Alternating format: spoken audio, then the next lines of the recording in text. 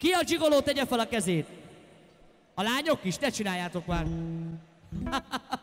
Olaszosan, zsigolósan hadd szóljon. Csigodjigodigodak.